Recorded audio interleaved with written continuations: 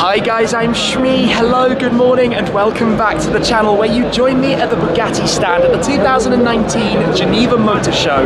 Now, center stage behind me is the most anticipated car of this year's show. It's a tribute to the legendary Bugatti Type 57 SC Atlantic and the most expensive new car in the world.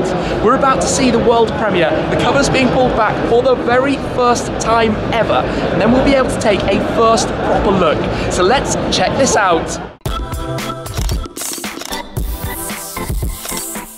Before the car is revealed, very little is known about it. Bugatti have been incredibly tight-lipped. All we can see is an elongated chassis when compared to the likes of the Divo behind. We'll take a look at that later as well.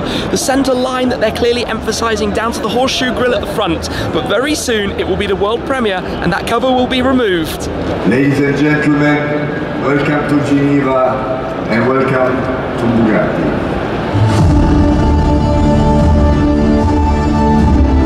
And here it is, the La Voiture Noire, replacing the legendary missing Bugatti 57 Atlantic of Jean Bugatti.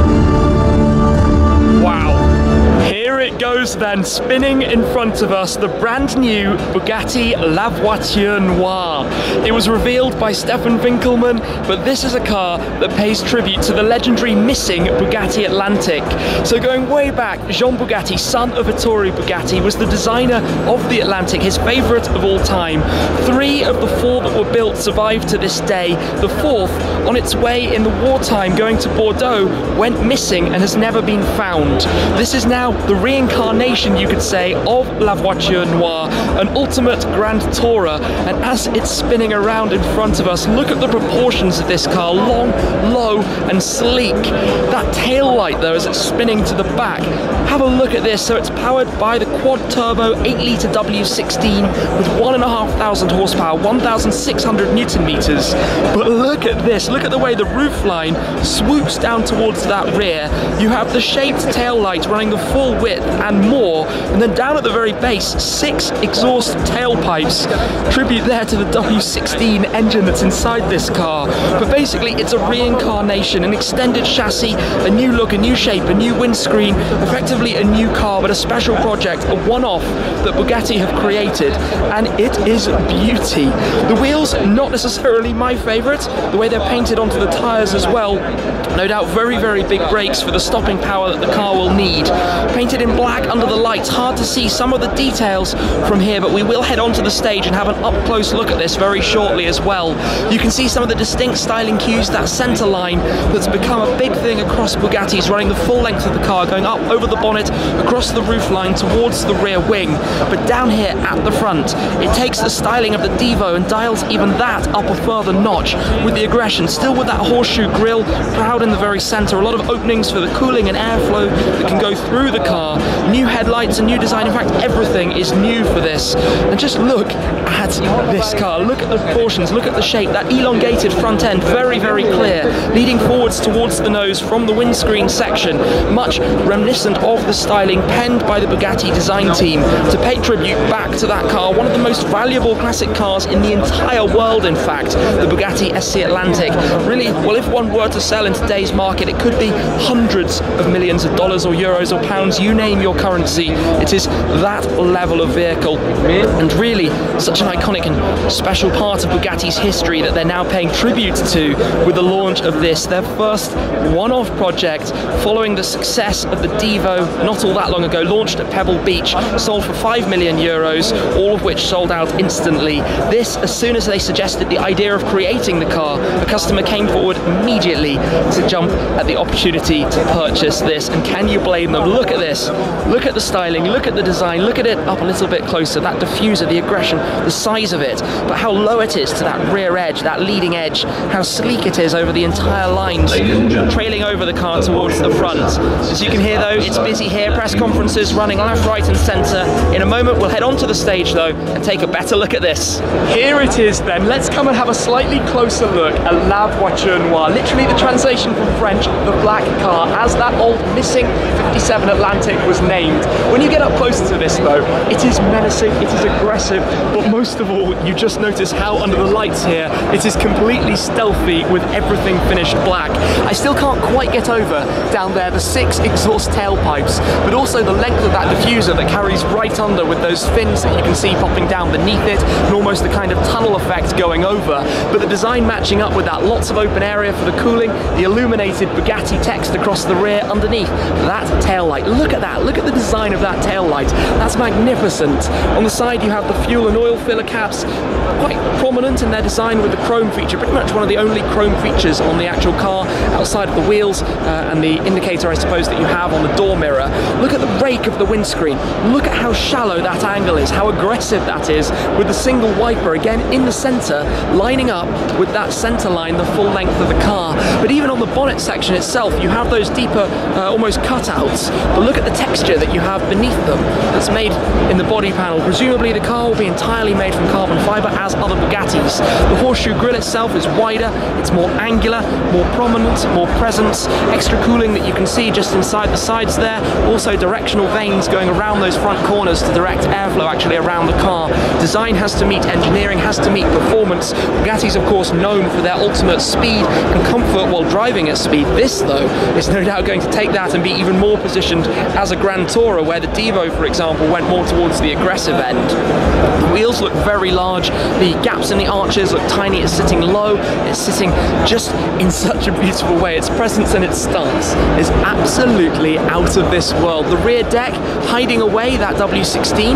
Of course, traditionally the Chiron, as we'll see very shortly, has a more open section where you can see a little bit more of what's happening at the back. But for aerodynamics, for airflow, for smoothness, but also to match the design of the Atlantic, everything is very much flowing, smooth, minimalistic lines. There are no lines where they aren't required pretty much anywhere on the entirety of this car. And actually, I can see looking a little bit closer that the entire bodywork is actually exposed carbon fibre. I hadn't spotted that before, I thought it was gloss black paint, um, but you can see that it is carbon uh, that you have for the black panels, the black painted panels, looking very, very nice under the showroom style lights here at the Geneva Motor Show. That illuminated strip though, the chrome strip that runs all around the car, just wow, just absolutely wow. And as I said, it's a project they commissioned, they wanted to start building, and they found a customer almost instantly. And are you surprised when you look at this?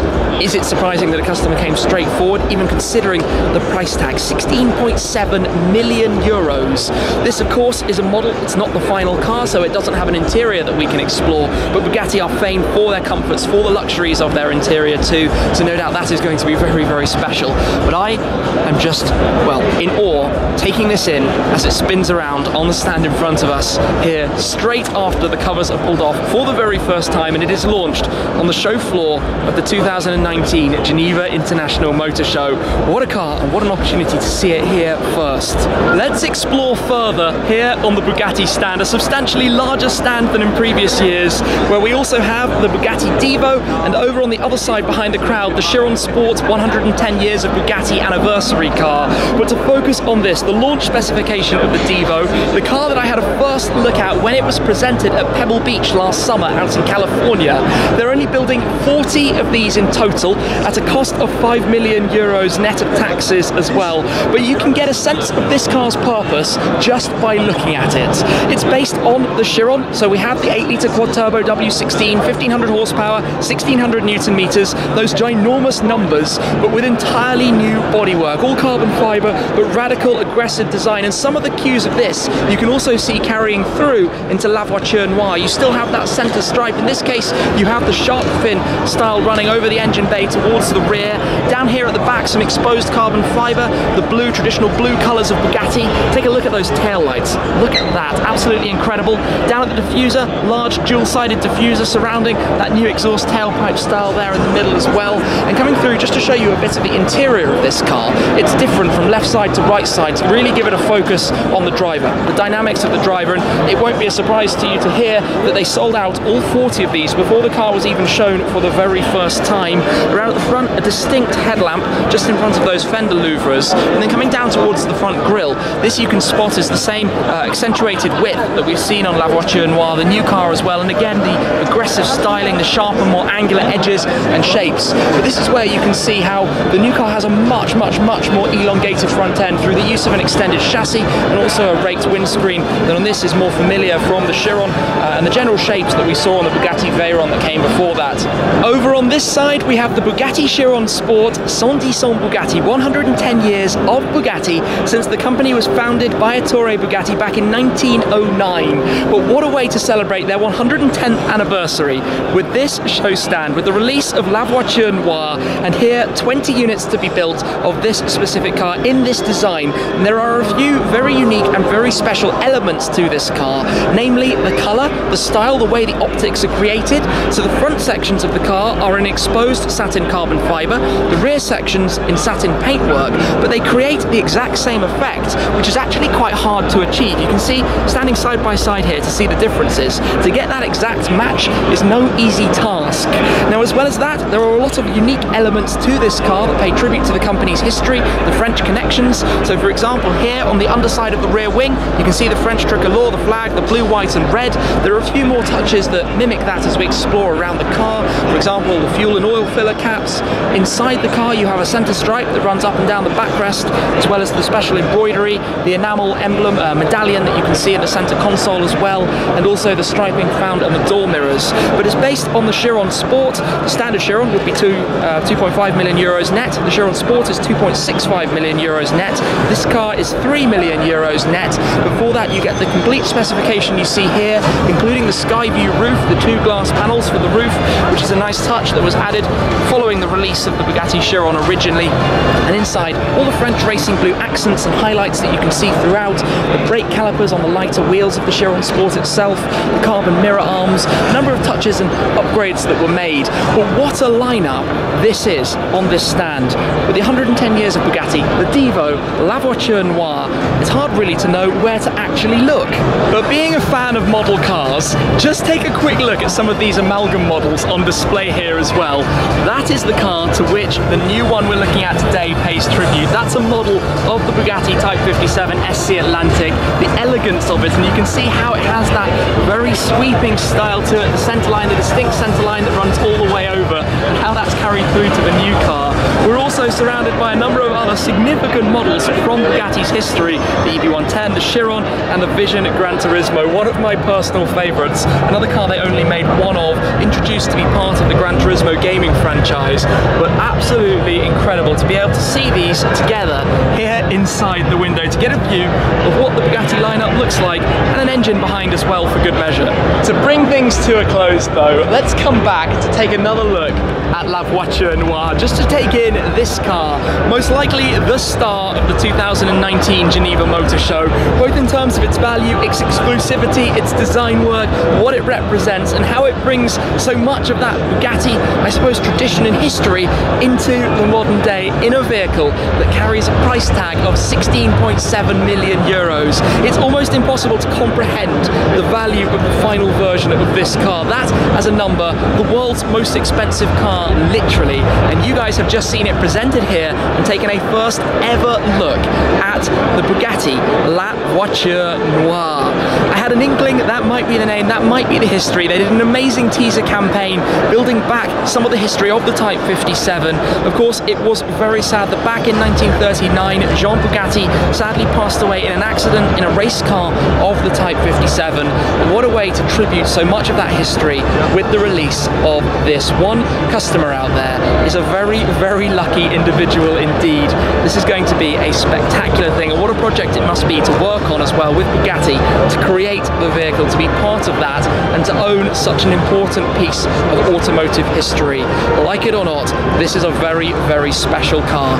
To be honest, I love what it represents and how it looks. Anyway, I'm going to leave it for there. Thank you very much for watching and joining me here with Bugatti at the 2019 Geneva Motor Show. I hope you've enjoyed this first ever look at the brand new car. There'll be plenty more to come though from this amazing show, so make sure to be subscribed and stay tuned. That's it for now though guys, I'll see you again very soon. Cheers!